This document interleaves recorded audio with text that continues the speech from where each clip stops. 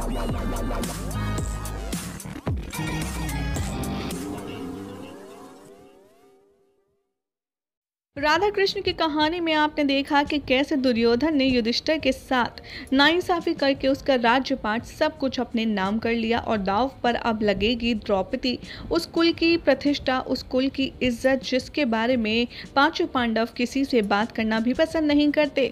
यहाँ पर आप देखेंगे कि सब कुछ हार जाने के बाद द्रौपदी को दाव पर लगाने की बात चलती है और यहाँ दुर्योधन के दाव पर लगाने की मांग को देखकर पहले तो पाँचों पांडव बहुत ज़्यादा ज़्यादा इस बात का अवरोध करेंगे और उसके बाद द्रौपदी को भरी सभा में घसीट कर लाया जाएगा। द्रौपदी बहुत ही ज़्यादा रोएगी, चिल्लाएगी और भरी सभा में उसका अपमान होता देख पाँचों पांडव की निगाहें शर्म से झुक जाएँगी। जैसे ही राधा रानी द्रौपदी का ये हाल देखती हैं कि लाचारी देखती हैं, उन्हें बहुत ज़्यादा क्रोध आएगा और वो कहेंगे कि राधा रानी, कृष्ण से ये कहती आएँगी नज़र कि ये बहुत गलत हो रहा है कृष्ण। एक स्त्री अगर प्रेम जानती है तो वो विनाश का कारण भी बन सकती है। और ये सब कुछ देखकर राधा रानी श्री कृष्ण को आदेश देंगी और कहेंगी कि जाओ कृष्ण जाकर द्रौपदी की मदद करो। वो द्रौपदी जो तुम्हें अटूट चाहती है, तुम पर अटूट विश्वास करती है।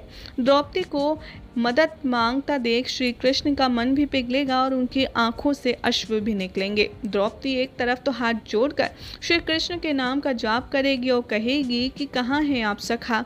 मुझे आपकी आवश्यकता है। श्री कृष्ण, मेरी मदद करें सखा, आप कहाँ हैं?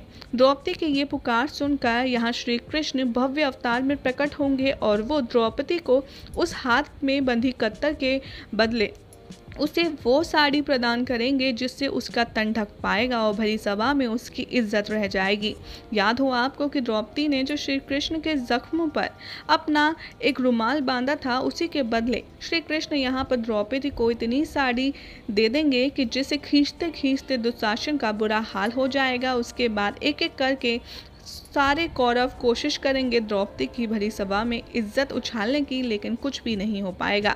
कृष्ण फाइनली द्रौपदी को बचा लेंगे और उसके बाद क्या होगा, यह आपको बताएँगे अपनी अंक रिपोर्ट में।